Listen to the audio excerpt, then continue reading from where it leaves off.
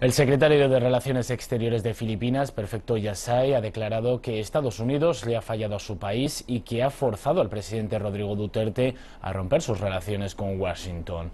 En una publicación en línea, Yasai continuó diciendo que las acciones de Estados Unidos han obligado a Duterte a realinear su política exterior y a encaminarla hacia un camino más independiente de conformidad con los principales intereses nacionales.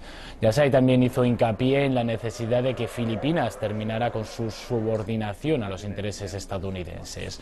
Los comentarios se hacen eco de aquellos expresados recientemente por Duterte, quien a comienzos de la semana dijo que Filipinas necesita romper con Estados Unidos.